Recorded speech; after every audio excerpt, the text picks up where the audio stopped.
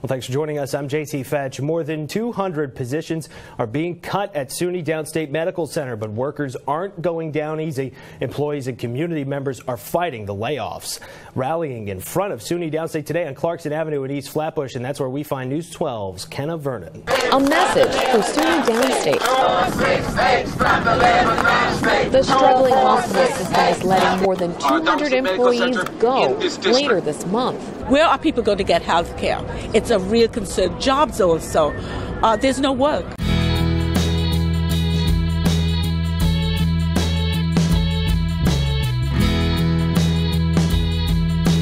When the state wanted to privatize SUNY Downstate Medical Center, Rowena Blackman Stroud knew that UUP couldn't save this irreplaceable public hospital on its own.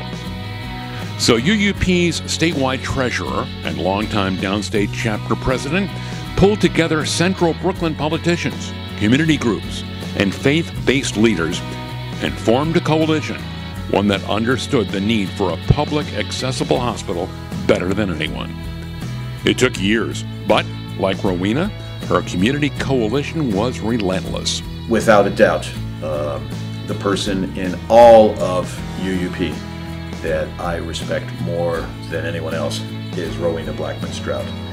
I knew what she had been doing at Downstate on behalf of her members, on behalf of the patients and the students there, on behalf of the community.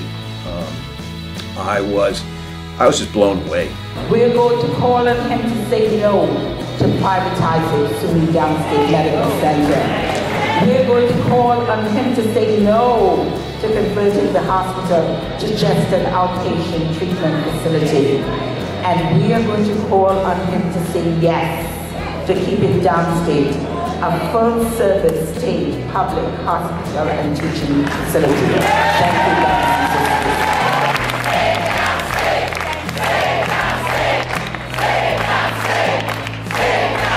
you, She will continue as Downstate's chapter president, serving as a strong voice for her chapter's members.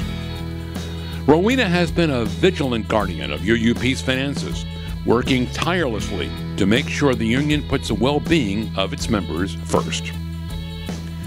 A graduate of the University of the West Indies and New York University, Rowena was elected to NYSUT's Board of Directors in 1998 and serves as a trustee of UUP's Benefit Trust Fund.